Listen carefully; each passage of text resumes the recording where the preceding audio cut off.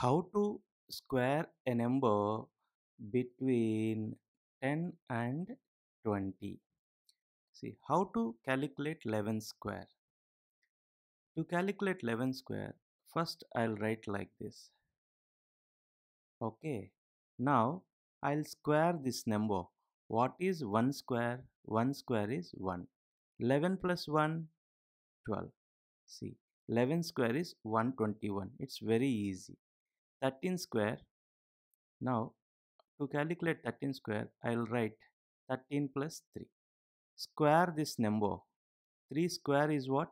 9 13 plus 3 is what? 16 so 13 square is 169 17 square. I'll write it uh, 17 plus 7 here you have to observe one small technique.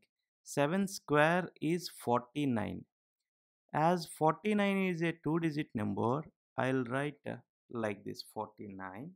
17 plus 7 is 24. Now you add these two numbers 24 plus 4 is 28 and this 9 is as usual. So 17 square is 289. Similarly, to calculate 18 square, first I write like this 18 plus 8. I'll square this number. 8 square is 64.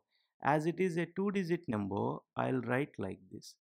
18 plus 8 is 26. Now I'll add these two numbers. 26 plus 6 is 32. So 18 square is 324.